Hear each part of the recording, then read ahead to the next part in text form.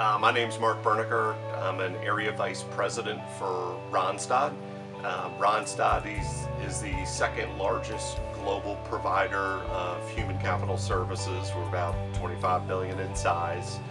Um, I set up a program in October within the Randstad organization um, for everyone to wear pink on Fridays and have an opportunity to dress down and wear jeans. Um, we're in an environment that is very much banker-like, suit and tie every day, so to give people an opportunity to dress down on a Friday, wearing something pink and wearing jeans um, was an easy way to get a, a $5 donation, something very nominal and simple, um, to have the ability to do that, and uh, in return, donate those funds to organizations like Here for the Girls that can use it for um, getting the women the resources they need. Here for the Girls made it easy. We could set up our own fundraising page.